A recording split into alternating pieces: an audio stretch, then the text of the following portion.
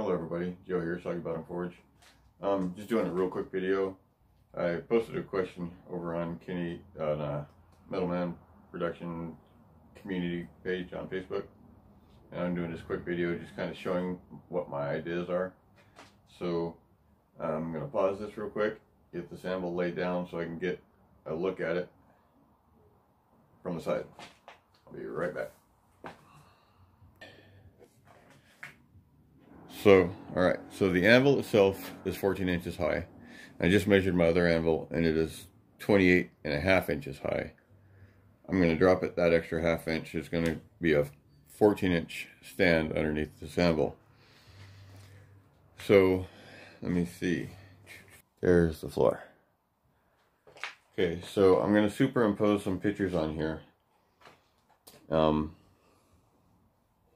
so I'll have you know, a straight leg coming out here, two coming out here, all splayed out.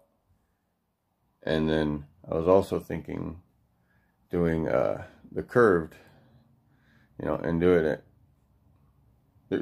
coming off and then having the curves come down to where they're straight up and down, you know, kind of like these. So let me know what you guys think. Um, let me get this upright and I'll be right back. All right, everybody. So let me know what you guys think. Um, looking forward to hearing you guys' opinions and weighing all the different perspectives. And anyway, Joe here, Soggy Bottom Forge. Peace. And I'm out.